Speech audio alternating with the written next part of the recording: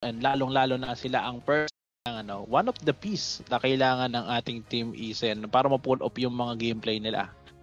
But uh, yun nga, sinimulan na rin ni uh, Tony and Jeff ang pagkuha sa ating mga main characters, yung mga buff Pokemon natin. As for Tony, hindi yata sila kumuna slow bro ngayon ha. Mm-hmm. Mas inuna nila yung ating Blastoise. Mm-hmm. Ay kasi nga pala, ban yung Blast, ay yung ban yung slow, slow bro. bro. I'm not paying attention. ang laking ano lang din sa kanila siguro sa composition nila, ang laking bagay ng Blastoise tsaka ng Alolan Ninetales kasi nakita mo naman kanina na in mm-hmm. every Hydro Typhoons, I think yun yung go signal ng Team Isen para mag-engage. Uy, yung avalanche na eh. Mm, and for old guys, may natin ngayon na nag-lock in na sila ng Machamp and ng Delphox and also the Glaceon is now on the hands of Team Old Guys. Sakto lang din naman yung pagkakapick ni uh, Weyam dito. Saktong yung uh, kanyang Delphox since uh, nagpick ng Clefairy, ay Clefairy, ng Blissey ang ating Team Isen at uh, para mabawasan by almost 1.5% yung mga HP na nakukuha ng ating Team Isen. Ah. But uh, in this game, I think uh, all case have the advantage na siguro.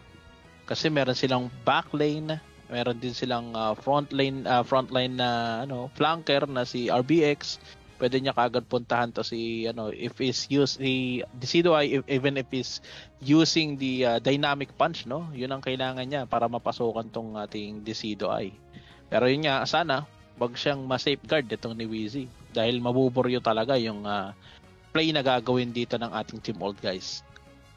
Mhm pero sa ngayon mas gusto ko yung ano ng ano ng team old guys. Mas gusto ko yung draftings nila. Yeah. Na mas well-rounded siya, na mas flexible siya. Pero for the side of Team Isen, they have this Decidu ay na kanina pa nagiging problema sa lahat ng teams na nakakalaban nila. And uh, I don't know, currently I don't know, nag naguluhan na ako dahil sa mga nangyayari. Oh. Ayun. Oh, na nawala po ang ating laro mga kababayan. Wait lang po, mga, mga kababayan natin dyan na nanonood. We are having a little bit of technical difficulties kaya naka naka-idlip itay, naka-idlip. Dahil na, napawati tayo nang wala sa oras. Kaya maghintay lang po tayo ng onte uh, may inaayos lang po sa ating laban hindi daw po alam kung ano ang nangyari nag-restart daw ang ating game. Ah, restart? Yeah. Ah, yung, Baka yung sa live, yeah. sa live. Ah, okay, sa live lang. Akala ko ano eh, yung mismong game. Siguro pwede naman nilang, ay hindi rin pwede kasi naka-expectate pala siya doon, no? So, I paano yan? I, I think ang mangyayari na lang dito kaya Badest is uh, Remake. Same, same, since di pa naman nagsisimula, same picks na lang. Mm-mm. Para mabilis, no? and then we have we will have a restart.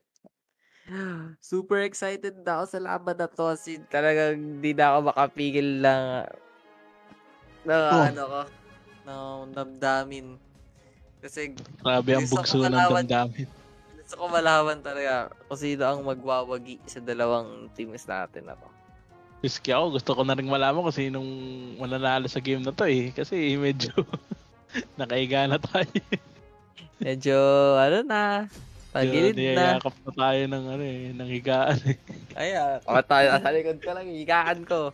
Naghihintay na, tinatawag na. Hmm.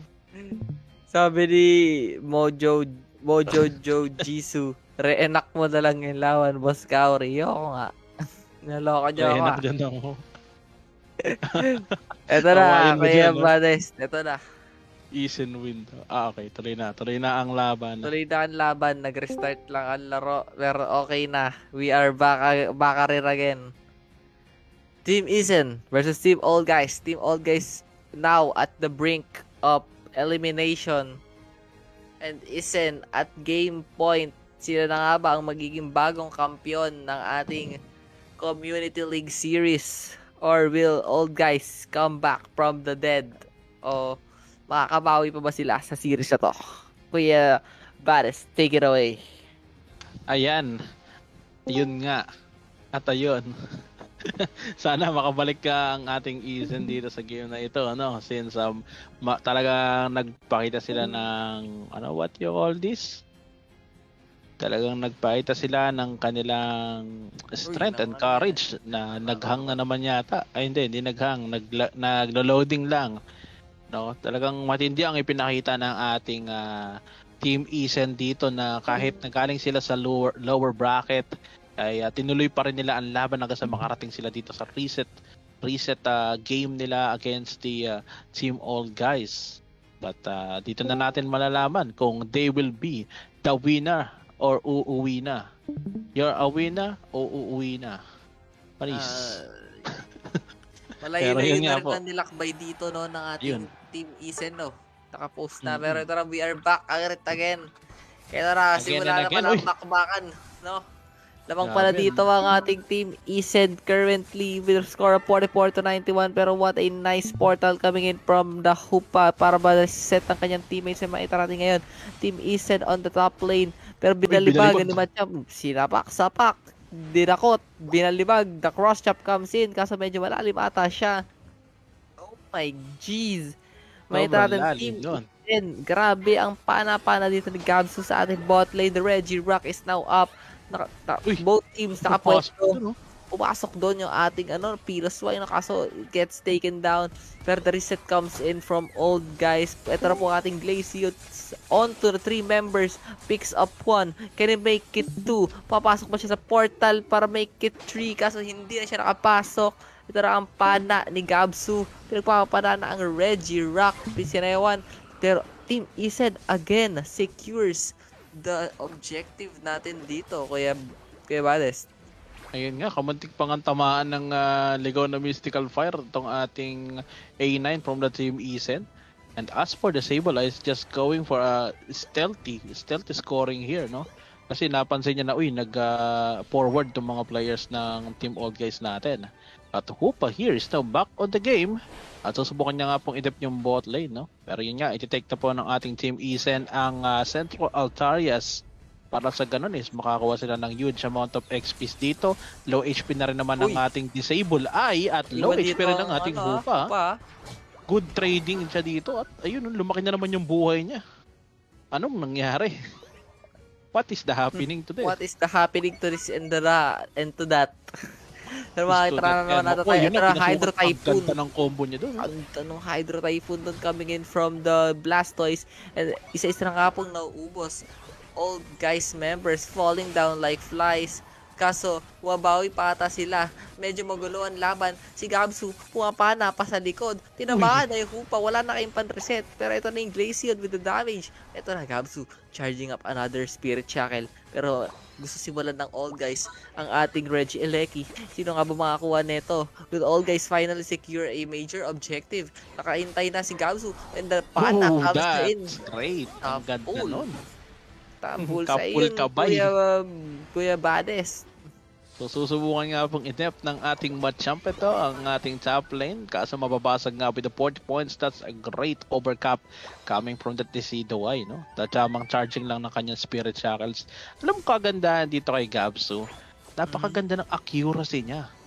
Grabe ang mga Spirit Shackles niya dito. And also, ha, take note, lagi niyang inuuna yung Hupa since uh, siya ay malambot siya ang may pinakamagandang uh, ginagawa sa pa, sa team ng ating team old guys napakalaki ng part ng Hupa na yan. Kaya Kaya siguro inuuna niya yan.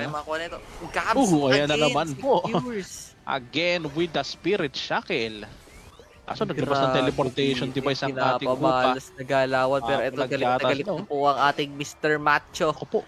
Mr. Macho, Mr. Olympia. Pero puwana na si Gabsu pandepensa. Sinalon ng Hupa lahat na sakit oh. sa mundo patong aray. Another one. Aray. Another one. At Another one.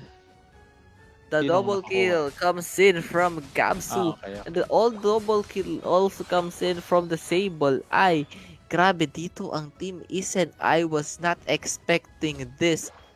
The champions, the old guys, the regional representatives from Team Philippines also proclaimed to be the number one PH team is now at the mercy or at the hands ng ating Team Isen na is a newly formed team and is the dark horses of this tournament. Sabi yung mga nangyayari, Kuya Bades. Di ko na alam kung anong sasabihin ko. Pero baligtaran pa rin naman to. Like I said, ah, maraming pwedeng mangyari. Well, uh, although yung scores natin is 280 to 107 and dadagdagan pa nga ng 40 points to, no? Walang ano-ano. Makakapag-shoot siya ng libreng 40 ang ating disable eye. But the team old guys are now ready to take the Reggie Eleki here in the top lane. Nag-aabangan Malayo sila ng magandang ah. movement. Malayo ang Decidio ay. So, pwede pa rin namang humabol ang Decido ay dito since Ito meron na. siyang uh, Shadow Sneak. Nag-aanap lang po natin, siya ng magandang makuha niya. opening dito. Ooh. No, Ito na. na-secure na. ng ating team old guys ang ating Secure uh, ng ating Reggie. old guys na kanilang una-unahang major Reggie. objective in three games and counting. Pero naiiwan natin Naligaw, yung oh. ating Naligaw. Stable. Medyo naligaw siya doon. Medyo nagharap siya ng kakampi pero mali ang kanyang pinuntahan. Ito na po si Gabs with the Spirit Shackles. Naku po, 1 HP is left onto the Glaceon of Old. Guys, grabe ang sakit ng pinapakitang damage ng ating ano dito. Ah, di si ano si Sable Eye, hindi pala si ano si Decidio Eye. Pare silang may eye kasi. Kaya medyo, We medyo are now on the last 10 seconds ng ating final stretch at dito na magkakaalaman kung sino ba talaga ang nararapat sa pwesto ng ating ah, trono dito sa Sword of Ruins. Mhm. So na ayan na, Ah, mahanap sila. Kuya Kumbaga, kailangan natin tignan dito yung Machamp and yung Decidio Eye for both teams kasi susubukan pasukin to ng ah, team old guys papasukin ng ay nakita mo pwesto ng ah, medyo nagmamadali po sila dito ha. Inuuna nila, ayun, tinamaan na. Oh, Pero the sakto Unite ang move. kanyang Walang Unite Unite, move walang doon. Walang tinamaan. Pero still, Oh the God, pick off comes in.